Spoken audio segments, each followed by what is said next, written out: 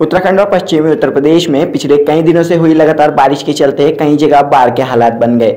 इसी में उत्तराखंड भी अछूता नहीं है। उत्तराखंड के एक वीडियो वायरल हुआ है, जिसमें सिलेंडर, एलपीजी सिलेंडर बहते हुए दिखाई दे रहे हैं। हालाँकि यह वीडियो अभी इसकी कंफर्मेशन नहीं है कि उत्तराखंड का कहाँ का है, लेकिन पूर्व सूत्रों के अनुसार यह उत्तराखंड के काशीपुर में जो एलपीजी रिफिलिंग सेंटर है, सुल्तानपुर पट्टी में वहाँ का बताया जा रहा है।